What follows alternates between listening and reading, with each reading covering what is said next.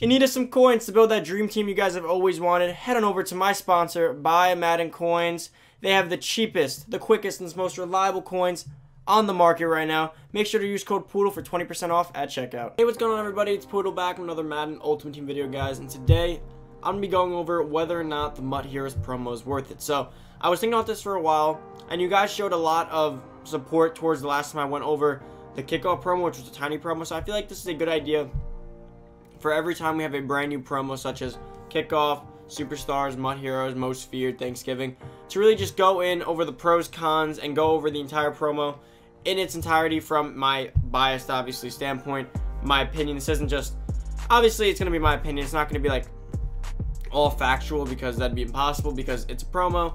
It has different perspectives from everyone who plays the game. But the point being is that I'm going to give you guys the pros, the cons, and the ins and outs of this promo that I think that are key points of it so we can get a good idea for what we could rate it. We'll rate it, we'll rate it a number at the end of the day. But obviously this promo is never going to be like most feared Christmas or Thanksgiving. Those promos are the best ones we're going to get. But MUT Heroes is always a cool one. So I'm going to go all in depth on my opinions on this, whether or not I think it's legit, it's a scam, or if it's worth it, or it's beneficial to us. I'll go over all that in this video, guys.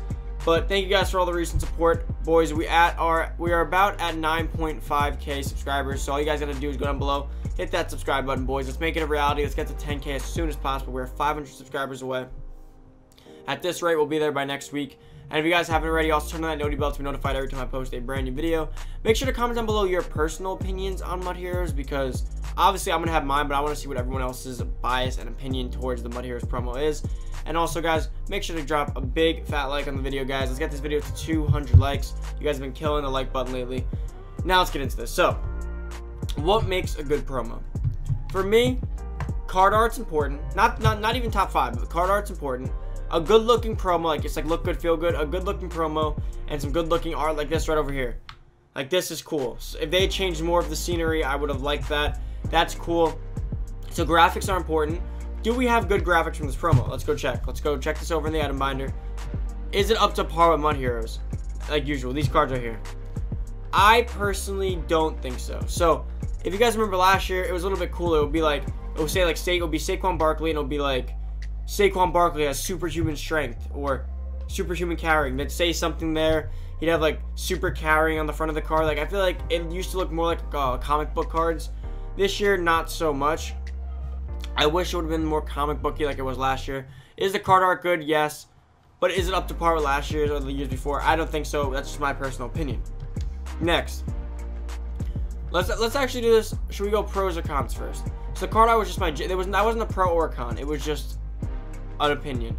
So I'd say let's start with what's bad about MUT Heroes. So for me personally, what makes a good promo? Cha- uh, what makes a good promo? Solo challenges, good cards, and with the way Madden's trending, free cards. That's all you need in a promo. If you get all three of those things, people are gonna be happy. You got your free card, some good solo challenges to keep you busy, and some good cards to use. Now, starting off with the cons of MUT Heroes. First, as a content creator, it's not so much a con, but for a daily Madden user, it is. They spread the promo out a lot, which kind of sucks considering most fears coming soon. So typically when a promo comes out like MUT Heroes, it came out on Friday, you want as much time from now until the next promo to enjoy these cards. Because you know by the time the next promo comes, those cards are going to lose value. You're going to probably want to sell them. New cards will come out. So for them to spread this promo out so far, so it's Friday was the first drop, and it wasn't any really good cards. They're not dropping like the best cards until this Friday, Thursday, Wednesday. So at that point, it'll already be like the 11th of October, and then at that point, we're almost at most feared. So I wish they had dropped them all together. From a content creator standpoint, I don't mind because it gives me content to make you guys daily of new MUT Heroes cards coming out and keep you up to date with the solos and everything. Also, it's another thing they did. They spread the solos out. They spread the whole thing out. So for me, like I said, as a content creator, it's good because I can spread my videos out for you guys, give you guys some more daily content. But as a Madden player, which I also am, it's kind of disappointing because guys like Saquon Barkley and Ramsey I can't get yet. They also separated the solos, which I don't like this. I wish I can go right in right when the solos come out and grind out the Net Hero Fantasy Pack, but they did not allow that. I don't know when they'll give us access to that. I'd imagine. I'm hoping today at 10:30 they give us access to this pack by playing the rest of the solos, but we might not even get this till like Thursday or Friday. It all depends. Hoping today because we do have a money, uh, we do have a house rules coming, so I'm hoping that since they'll give us that pack, they can give us this one. But that's one of the first cons is that this promo is very spread out. And I already kind of mentioned the card art, my opinions on that. I can't call that a con though because very opinionated. Another thing is I wish they were more objective. So if you guys have played Madden in the past in MUT Heroes, you know that the objective list for MUT Heroes is always pretty cool. So if you go over to MUT Heroes, it'd be like it would be like earn sidekicks, let's say. And it'll be like get three touchdowns with any MUT Hero card and earn a free sidekick. Play 20 solo challenges, earn a free sidekick. Play score 10 touchdowns total with your team, earn a free sidekick. Do this, earn a low tier sidekick. Last year they did that, so if you did those objectives with some solos, you get a free player. Now, obviously, we're already getting a free player, so maybe EA decided, okay, well, they're getting a free player, so they don't really need those cards, but maybe I'm just giving them to us not. Because if they're not, at least I could have put them into sets and could have made some players out of them. My personal opinion. Second on the list, coming over to the sets. So, I feel like some of the sets are kind of weird here. So the exchange sets is one thing I think we're missing is a sidekick exchange. Not to make a sidekick, so like here you see, it's low level sidekicks to make one big sidekick. Now, what if you have a big sidekick that you don't want? So like I did the David DeCastro set, and that David DeCastro set guaranteed me back one Nat Andrejo, however you say his name, Alejandro Villanueva, like 86. So I don't want him because I already did the Steelers set. I'm not going to use him. So there should be a sidekick set where I put in like one big one and two small ones, and I get another big one. So I lose 20k, but I can get another big one and use that for a set or something, or like a to or token if they had that, or anything along those lines. But they don't. They have none of the above, which kind of sucks because I was looking forward to doing such. So then I'm just stuck with Alejandro Villanueva, and I don't understand why they have one for low and high, but they don't have an exchange for just the high. They should definitely have added that. Also, the sets for the players. They give us back Nat sidekicks, which I guess if you're a lower level team, it helps you. But I guess the more higher level teams, obviously, I'm not going to use an 86 or an 81 on my team. Maybe they should have went about that in a different way. I don't really know how they could have. But like I said, at least if you're going to give it back, just allow us to have a sidekick exchange set. Also, kind of a lot of cards needed for these sets.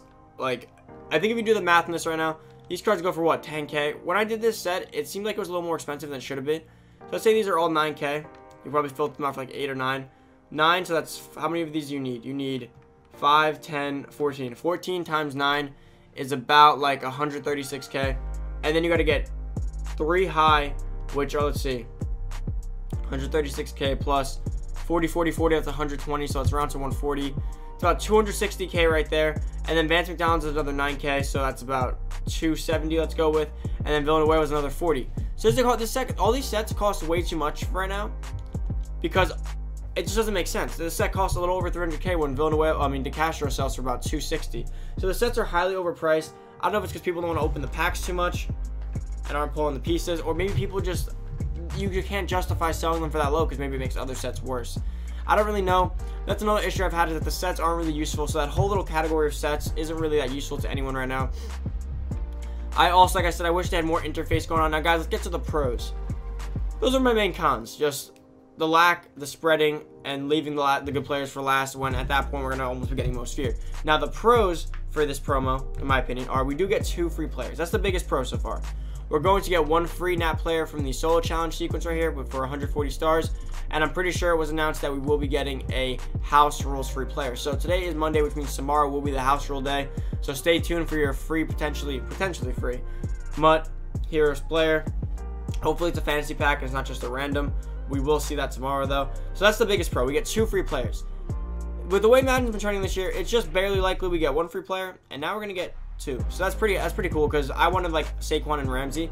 Those are like the only two cards I really wanted, so now I can just get both of them for free and head on out of this promo. Because usually what I hate is like when a MUT Heroes promo comes out, I invest so many, I invest a lot of coins into it, and then most of year comes out and I lose all those coins. So the beauty of this is that I get my free packs, I buy my player, I get my players for free, and I head out and I keep all my coins stacked for the most part with the few players that I just have to sell left. So that's one of the big pros. Second, I do actually think the solo challenge sequence isn't bad. I wish they didn't spread it out, but it's not a hard it's not a hard sequence. It's pretty easy.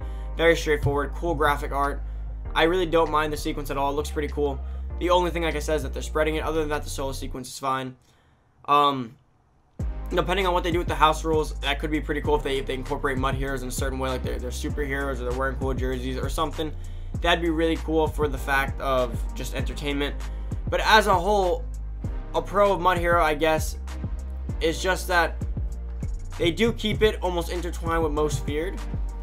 So if they had dropped the cards, the cards that came out first, are not bad. They're already low in price because people are anticipating most feared. So that's the one good thing about it being so close is as you can see that with the way they set up MUT Heroes, they're not overly priced because they're so close to most feared. People are waiting for that too.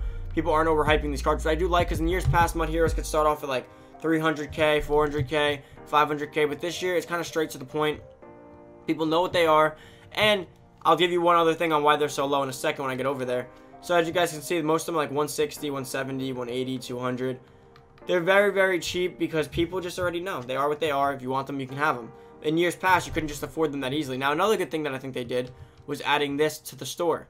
I'll show you guys right here. So we go to trading currency. A 90 to 91 random hero is 6,000 trading. 6,000 trading right now, if you get the proper training values, probably cost you a little, around 200k, give or take. So the beauty of this is that it pretty much guarantees that almost all MUT Hero cards will be between like 170 and 280, 300k because this pack can pull you anyone in the game. So at the training value of 200k, that's kind of more or less what they're valued for. Obviously, some guys will go for a little bit more because they're better cards and people want them more. If EA had not added this sets, any of these random sidekick sets, we'd be kind of screwed. Because I think if they had not added these, there'd be less definitiveness on who the pricing of each card, or what the pricing of each card would be. So guys like Saquon could go for like 600k, guys for Ramsey go for 600k. They'd have to be pulled straight out of packs. This pretty much tells you in the game that they're worth a little bit over or under 200k. So that's pretty much more or less what the market should be at. So for that reason, they've set the bar pretty low, and now we can afford multiple MUT Hero cards. Because in years past, new promo like this comes out, Saquon and Ramsey might be 500k each. A million coins for two cards, that's ridiculous. Now, with the way this is going, I could probably get both cards for under 500k, or even free, because they're giving it to us for free. And, I mean, that's pretty much the pros I have on this promo. Two free cards, pretty decently good graphics where they are. Where they are, the graphics are cool. I wish there were more of them. That's not bad. The prices being pretty much fixed and set low is pretty cool too, so that we don't have to really kill our. A lot of people are saying like, I have 600k, I think I'll be able to afford one. And thanks to the way they set it up this year, you can afford multiple ones of them. So honestly, that was pretty cool, guys. Anyways, that's about it for the video. I personally, overall rating for the MUT Heroes, I think it's a 7 out of 10. A 10 out of 10 would have been, a lot of cards are kind of worthless in this. A lot of cards aren't too good, a lot of cards aren't usable. A 10 out of 10 would have been amazing cards, better name drops, uh, graphics all around, a little bit more from the solo sequences, more objectives. That would have been a 10 out of 10, but only thing that gets 10 out of 10 is probably Christmas promo. 9 out of 10, 8 out of 10. Again, it's pretty close, but I'm going to give it a 7 out of 10 because we do get two free players. But besides that, all you're pretty much using this promo for is two free players. You're coming in, you're getting your two free players and kicking to the side. It's not like thing. It's not like Halloween where every day you're waking up for daily objectives, trick or treat collectibles, or any of that cool stuff. There's nothing daily to this promo. It's kind of just like you come in, you get your players, and you leave. So for that reason, it's 7 out of 10. Still a pretty good promo, though, guys. I do really enjoy it, and I'm happy we're getting two free players. But that's it, guys. Stay tuned for the rest of today's videos. I will be dropping two more for you guys. Stay tuned for House Rules tomorrow. And if you haven't already, make sure to subscribe to the channel, turn on that noti bell voice to be notified every time I post a brand new video. Make sure to comment down below your personal rating and opinions on the MUT Heroes promo, and drop a big like on the video, boys. Let's get this video to 200 likes. I'm out. See you guys in the next video. Peace.